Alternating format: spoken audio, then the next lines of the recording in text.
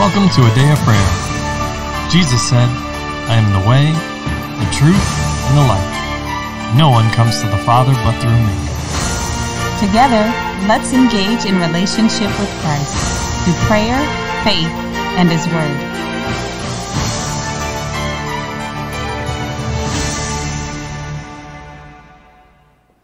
Good morning. My name is Promise, and you're listening to a Day of Prayer's morning Bible study. We're glad you could join us, but before we get into the Word, let's open up in prayer. Lord, just thank you for today. Just thank you for showing us what we need to do and just preserving us. Lord, I also just thank you for giving us the wisdom so we can do it correctly. In the name of Jesus, amen. And amen. Well, good morning and welcome, everybody. Glad to have you with us as we continue to study the Lord's house and the garments of the priesthood. Before we begin, though, I'd just like to ask that you would like, subscribe, and share this message on any number of our platforms and with everyone the Lord puts on your heart to share it with so they can be blessed.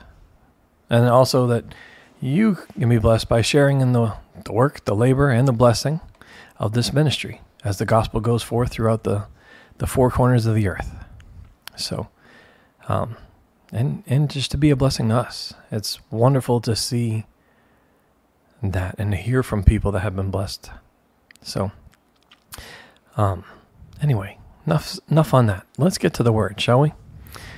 And we are going to reread in Exodus 28, verses 31 through 43. So, can I get a volunteer to cover that section of scripture, please? I will. All right, Layla.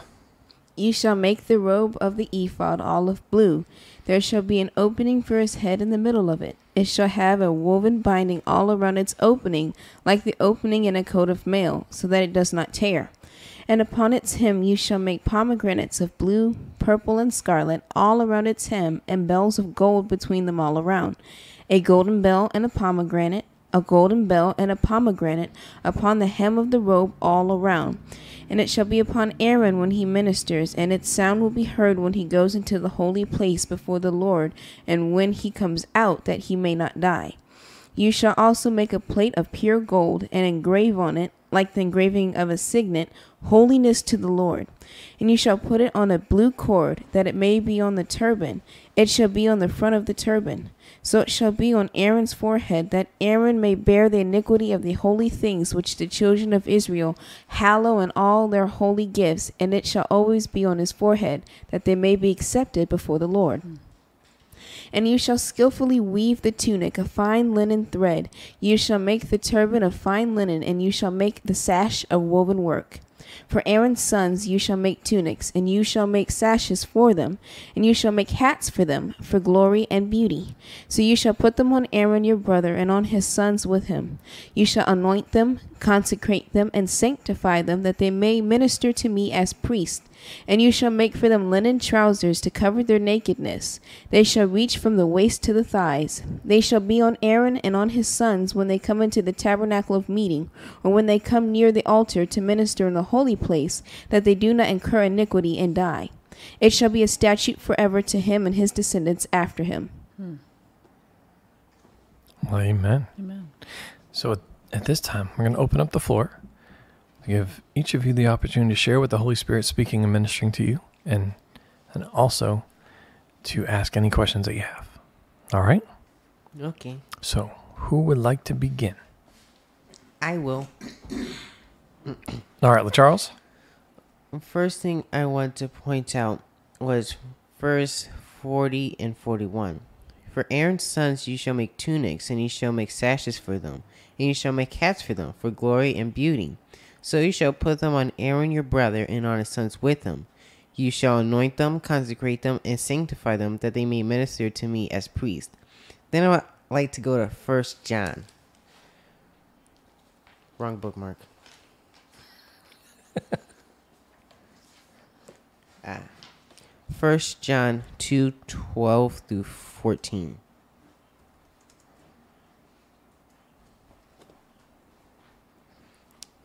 I write to you, little children, because your sins are forgiven you for his name's sake. I write to you, fathers, because you have known him who is from the beginning. I write to you, young men, because you have overcome the wicked one. I write to you, little children, because you have known the Father. I have written to you, fathers, because you have known him who is from the beginning. I have written to you, young men, because you are strong, and the word of God abides in you, and you have overcome the wicked one. And what the Lord was showing me here was that this was also the I'd say what we know is not the beginning of it. It's kind of like how Abraham and how Lord said he would know Abraham's going to teach his children. Lord was showing here is that this is the exact same thing. He didn't wait for Aaron to die before he tried to teach it, before his children were taught in the way of how to become high priest and what they were supposed to be doing. But he gave them and ordered for them to start practicing and implementing now it reminds me of how you and dad are always telling us, don't wait till you're an adult to try to think what you assume is like, because my philosophy was, yeah, when I'm an adult, I'm gonna hit it hard, I'm gonna be working, and I'm gonna do it great. But if I don't start that now, it's not gonna happen. Tell you it's what. not gonna be when I suddenly have my first job, the lights are gonna flick on, and I'm gonna be the best superhero flying around doing everything. That's mm-hmm. not how it's gonna work. And the Lord was showing me here was that we have to put a practice in how even and what he also wanted me saying that also refers to how in our spiritual state we tend to think of ourselves as okay that's a bit too deep for ourselves. Or saying we're not quite at that level.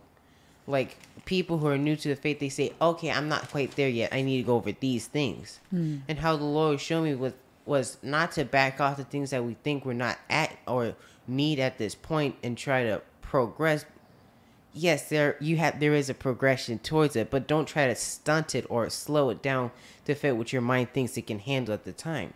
That's not how the Lord works. And I forget who I was just thinking of. I was just thinking of someone. Um, I think somewhere in the Bible it was they were, I'd say, pushed forward. Actually, Jeremiah. Jeremiah. Jeremiah. But he wasn't quite the age which many people thought okay, this is the time I can start speaking now, and this is the time that I have something to implement. If we're going mm. by worldly standards, I'm of age, and how the Lord He wants us to progress further than what we think natural. He doesn't want us to be limited to this is all I've known, this is what I know. I can't go any further than this. That's not what He wants. And that's what you see here, and how the Lord's saying, okay, I want you to start doing this, but I also know that when to start doing what I have for you, you need to start early. Amen. I'm not gonna wait till the last second and try to push you forward. It's not wait till the last second and hope it only takes a second, which it never does. It's progress and start before when you um don't need it. So when you do need it, you're already prepared for it, and it's just okay. I'm just doing this again. I've already been doing this. So you're a master. So here's the, there's a couple things. Your the reborn spirit is perfect.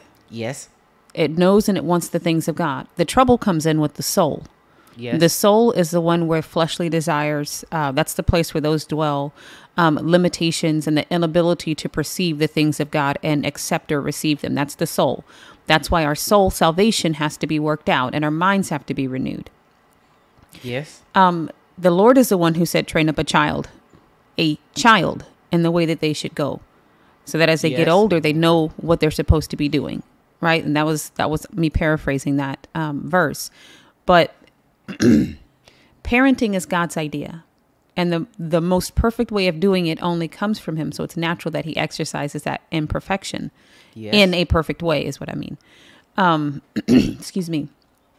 Also, consider that as as and while the Lord made a place for Levi's sons to have a place before the him, they still had to accept it. They still had to Yes. treat it righteously because they because of who they were, they weren't allowed to profane the things of God and go, "Well, my name is such and such." Don't you know who my daddy is? And and hmm. trample underfoot the things that God said is holy. They weren't able to just run into the holies of holies or et cetera, et cetera. They still had to come through the door, which is the way God set up and structured for things to happen. So while you have a call and a destiny, you have a, a big part to play in whether or not you will actually fulfill that destiny and get to walk in it. So God has done everything that He is, and wah, out the womb before You're you were in the womb. You're saying it's not automatic, honey, honey? No, I, it- yes, Wow. that's exactly what I'm saying. God did all that He did. He rolled out the red carpet, had little garments made for them, mm-hmm. told them how to wear it, etc., etc., and to glorify them and beautify them, and give them a place to stand in His presence and a job to do. But and yet they still had to come the appropriate way. Amen. Do you think Yes. if if um, Eleazar and his brother dashed in there without their sh- their undergarments on, they would have had a different outcome than anybody else? No, absolutely not. They said, "That's all right, Jesus. You you gonna take me how I am." Uh. You, you mean like with with Uzziah, right? Uh, couldn't just touch the the Ark of the Covenant to hold it up, right? It, was, it wasn't different for him. well-meaning and all. No, God is who He is. Respect His way. Respect the door. It's the adversary who disdains the things of God.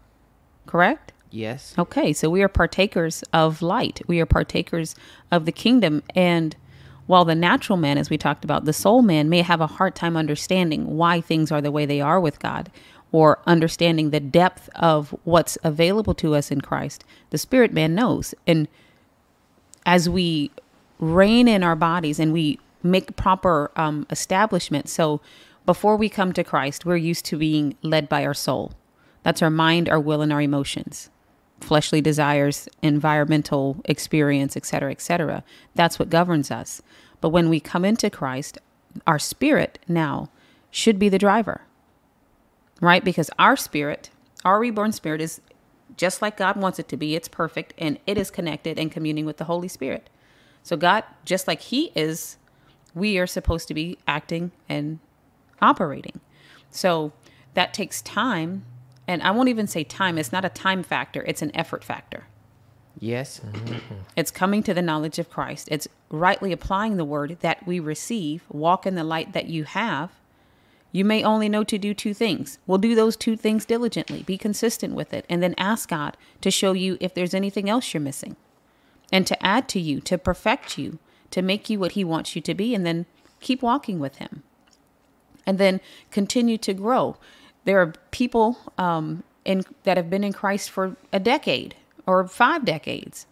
And as uh, a dear pastor would say, you have to push the bottle past the mustache.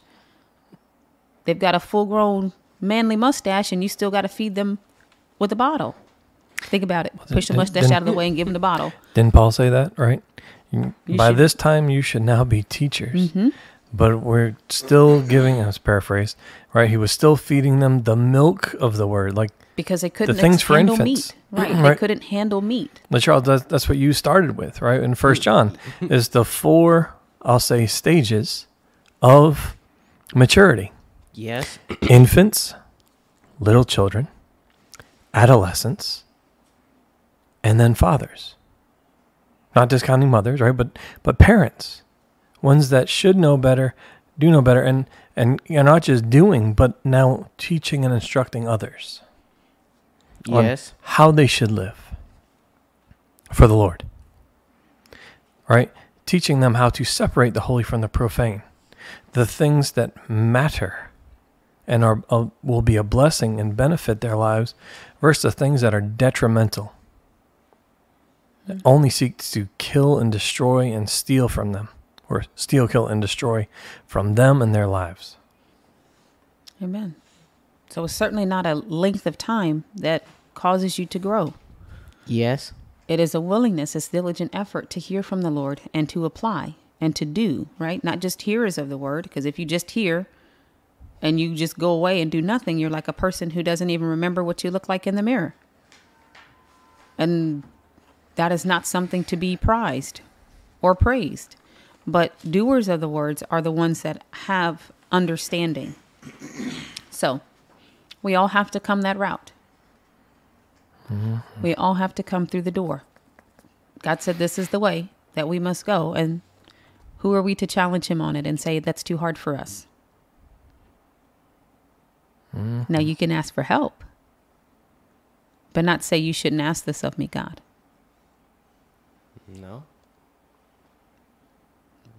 Teach me how to, to see what you see, Lord. And I'll walk with you and I'll trust you, right? Nathan said, if I go to David and I say what you just told me, he's going to kill me. And God said, okay, do that approach like this. He didn't ask us to be empty of understanding and foolish, but he did ask us to trust and be willing to hear and walk with him. Trust that he has our best interest at heart. Right? Jeremiah said, Yes. Lord, they're going to put me, they're hurting me. Right? And he Yes. cried and they threw him in a pit and he said, Lord, save me. And then he rejoiced because the Lord did deliver him. Mm-hmm. What else? Okay. and then I can hear the motor running. So, mm-hmm.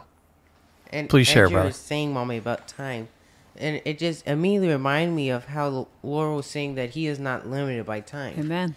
There's no time for Him. He created time. It is his servant and it is our servant as well. Yes, and that mm-hmm. brought that was what led me to Joshua ten, about how Joshua asked that the sun stood still. and Amen to he that. He asked for time to stop. And the Lord was showing me here was that with it, it's like you're saying, mommy, with Oh, the willingness, you have to have a willingness, I'd say, to see the supernatural growth. Um, and it just reminds me of how I wanted to be taller. Originally, I thought I was, for a while, I was really short Uh-huh. and how I said, Lord, I want to be taller. And then I, but I had to be willing to put forth the effort in order to making myself taller, doing the things that He told me to say, okay, this is going to make you taller. The same is true here. We can't expect to, I'd say, mature and come up if we, like you're saying, while we're always sucking off a bottle. You can never expect to be able to chew anything. It's like chewing soft foods and trying to eat something hard. It hurts your teeth. The same Okay. is the same is true here. We have to progress and go forward and saying, "Okay, Lord, I understand what you want me to do. Lord, help me go to this and do it because right now I do not have the strength." And that's also a humility aspect. If I had to try to say, "No, Lord, I got this," it's not going to work. So it's also first being humble and then going with the process.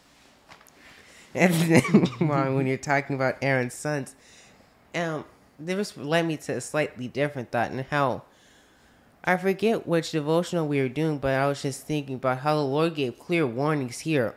Inside these, He was saying, "Do this so you do not incur iniquity on yourself." This is what I told you to do, and it just reminded me of Aaron's first two sons. They decided to run there all willy nilly with their incense, and they got consumed by fire. It wasn't because the Lord was malicious or wanted to kill them. It was because the Lord had to maintain His holiness. We can't expect to profane the Lord and say, "Okay, Lord, you just deal with it because I'm your child." Nope, that's not how it works. So we have to come. First of all, we had to come as children. First of all, respectful. Amen to that. Hey, hey, hey, hey, hallelujah. Put that on there again. You realize that you just spoke something that was recorded now, so it can be used against you in the future. no matter if I. It's a good thing we don't do that. The statute is what it is. good thing we don't do that here. Ignorance is no excuse. Yeah, yeah, I'm just having fun. Absolutely. But, yes. Mm-hmm. well, but let's let's add to what what you're saying there, sir. Right? What was the band, the gold band, that went on the turban? What did it say? Holiness to the Lord. Holiness to the Lord. Okay. Uh if you if you will go to Zechariah 14.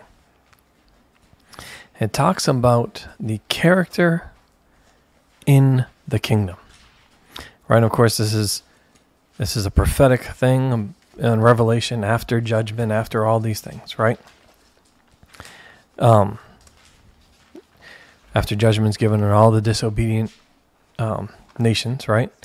But verses 20 and 21, it says, In that day, holiness to the Lord shall be engraved on the bells of the horses. The pots in the Lord's house shall be like the bowls before the altar. Yes, every pot in Jerusalem and Judah shall be holiness to the Lord of hosts. Everyone who sacrifices shall come and take them and cook in them. And that day there shall no longer be a Canaanite in the house of the Lord of hosts. So, yes, you can look at that in the natural sense of, well, these are just bowls and pots, right? Yes. But we are what?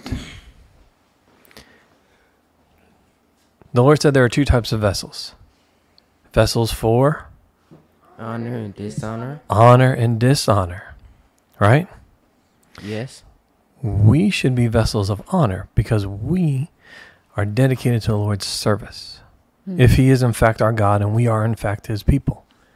If hmm. that is true, and for those that are that actually claim to be believers, claim to be Christians, followers of Christ, He should be our God and we should be His people. And in that, th- it says every pot. Well, we're vessels. We should be vessels of honor. Every pot shall be holiness to the Lord of hosts. It's one standard for everybody. Amen. It's written on the bells at every aspect, right? Which when we go into talking about the breastplate, talking about restoration to the heavenly community, community, everyone, everything in it is dedicated to the Lord and his service. Amen. There's nothing that defiles Nothing. or causes a lie or sin entering again anymore ever. Amen. Hallelujah. Um I I hope we can talk about this, but it's I find this there's there's a span happening here when it comes to um, the undergarments. In the garden, they were naked before the Lord and unashamed. We were talking about this in the in the previous one. Oh, did I miss that? You oh, did, yes. Okay. But you can repeat it. It's okay. No, it's okay. but yes, how the Lord is our covering. Mm-hmm. All right, and that's that was the whole point and purpose of this, right? We carry iniquity, right? We are born into sin and iniquity because of the curse. However, the Lord, which is represented in each, all of these garments, is our covering. The Father sees His Son covering us. Amen. Now, when we go to the New Testament, it says all things are naked and open unto the Lord. We talked about that. Yep. Mm-hmm. Go ahead, Layla. I see your finger wagging over there. But what that was talking about was our spiritual being. That's laid before him. He did not say walk in there with no clothes on as a dirt sack, but the essence of our being, the things that make us make make us, you know, who we are. Our spiritual man is what he sees. So he can see past the dirt sack and he sees past our facades and the excuses that we try to give him to see the truth and to see who we are and in the in the same manner he wants us to um be sanctified and cleansed so that we can see him the same way he sees us after the spirit um paul says um we see in a mirror dimly in first corinthians but then face to face so that means we see past what is represented in the natural world the flesh the flesh and we see the person for who they truly are just as christ sees us that way Amen. Amen. No, Charles, did you have something you wanted to say? Promise can go. Thank you, Charles. Oh, thank you, Promise. Okay, first Lord is pointing out um what Dad said the color what of blue meant high priestliness, and so the Lord remind me of how the blue garment was solid blue. There's no different colors in it, mm-hmm. and so the Lord remind me of that's how Jesus was when he was on earth. Mm-hmm. Everything he did reflected what the Father said, mm-hmm. and when I say everything, I mean everything. Amen. I mean from since he was a baby onward. Everything he did reflected what the Father said. Yes. He had no sin. Amen. Amen. that was it. Okay. He did not have sin nature, a part of him, like we do. He was born, right? Yes. God is his father versus a natural man being his father, literally. Correct? Yes. Okay. Amen. Wait, and then also I wanted to comment on something that Charles said previously, Okay. and how the the Lord didn't go. There's a different standard for Aaron's sons, the ones that got consumed, and so the Lord showed me that because he didn't. Ha- Wait. Yeah. Because he didn't have two different standards for two. If someone else had come in and done the same thing, because the fact that they're not supposed to be in there, they still would have gotten the same punishment. Not punishment. They will still gotten the same result hmm. because the Lord's the same across the board. And again, with the you not uniform, solid garment. Amen. It's okay. When we think about this, I, I want to I want to put this in our perspective. There's two sides to what we're talking about here. So one side is God said this is my standard, right? And he says, I'll have mercy on whom I'll have mercy. Right? Because he's judging not by the outward appearance, but by the inward. He's judging by his standard, right? Which there's one standard, but he sees the heart. Now, the human doesn't have the liberty to go, well, I think I can cross this line, God. You see the sides of it? God could say, you did something, but not hold you, not charge you with it because he, whatever metric he's, he's, as he's looking at it, because he's got one metric and he knows what it is, but he may offer mercy to one because he sees the heart. We're all humans on the outside. So we don't have the right to go, God, you're going to show me mercy on this and snatch it off of him and take it away from him and point in his face and declare we're going to violate him and he's just going to deal with it as the human towards God. Now, God and his mercy that he has for generations can show mercy to, right? Should he choose to? He's not required to, but should he choose to, because he is a good God, he's able to do that. Just like if you have a ball and you take that ball and you want to bounce it and you bounce it to your brother. That was your choice. You bounced it to your brother. Right? But if Layla came and snatched your ball out of your hand and then pointed at you and said, You're going to give me this ball. You're like, uh, no, that's my ball. you, you don't have the right to do that. Do you understand? Yes. Do you see the difference? Yes. God is not a man. He's not a human being. And we don't have the right to extract anything from him and tell him what he's going to do and violate his sovereignty, his holiness. We must respect that and we must take the pathway that he gave us, that he told us this is the standard. And for you, he may son the standard is obedience, but he may tell you for your life, I need you, you're going to wear this blue shirt and you're going to wear blue until I tell you not to. Your obedience says, yes, sir. And he may say to Mr. Dean, you're going to wear a gray shirt. And every other day, I want you to change to a red shirt. Mr. Dean's obedience is to say, yes, sir. And if he said, Mr. Dean, don't you wear a blue shirt? I said, wear gray and red. That's what I expect from you. Mr. Dean, should he put his hand on a blue shirt? No. Should he slide it over his head and poke his arms out through the holes? No. I don't recommend it. And it seems like such a simple thing to us because we're looking from a human perspective, which is full of the sin nature and guided by the flesh. But God said what he said for a reason. So if God said, don't you touch a blue shirt, then don't pick it up. Don't even handle it. And now, if he tells you to give it to a neighbor, that's one thing. But handling it from yourself and going, well, this would look great on me today, but my eyes and blinking in the mirror, don't do it. Don't put it over your head and don't slide your arms out through the holes because he told you, he said what he said. But both fall under the standard of obedience, but in that he gave you unique assignments. Which is why we are not the judge. Gotcha, babe.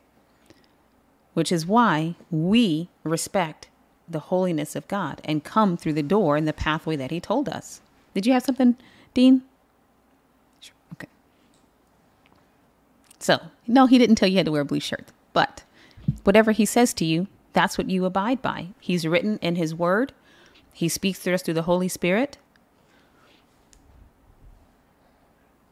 Go ahead, LeCharles. You got something real quick? It's not quick. Oh, okay. okay. All right. Well, then let's pause there for today. Okay. And we can pick this up on the next episode. All right. Yes. So, who would like to close out in prayer? I will. All right, Charles. Lord, we just thank you, Lord. First of all, Lord, we just thank you for your word, for your word, Lord, and that we have a continual mirror in which we can look into, Lord, and refute review what you are saying to us, Lord, and consider exactly what we need to get in line, Lord, and what we need to change and give over to you, Lord. Lord, we also just thank you for a natural and physical relationship with you, Lord. That you speak to us directly, Lord. That you speak to us both through your word and face to face, like with Moses, Lord. That we are your friend, Lord, and that you can trust us with everything that you have for us, Lord. And Lord, we just thank you for your Holy Spirit, Lord, that He guides us away from trouble and into your perfect will. In Jesus' name, amen. In Jesus' name, amen. Amen. Well, we love you. God bless you. And have a wonderful day. We hope you've enjoyed listening to a Day of Prayers morning Bible study. This year, Pastor John and I are believing for 1,000 new partners to believe God with us and join in the work of the ministry. God is doing great things through a day of prayer, and we want you to be a part. If the Lord has placed on your heart to partner with us, please contact us online at a dayofprayer.org. Click on the menu and select partner. Complete the form, and we'd love to hear from you. Thank you again. God bless you. Have a wonderful day.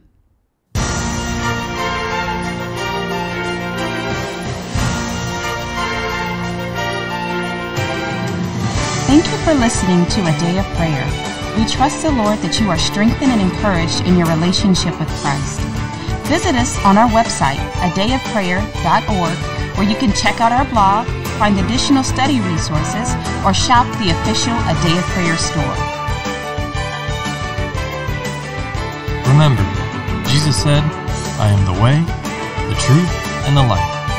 No one comes to the Father but through me. So until next time, take care and God bless you.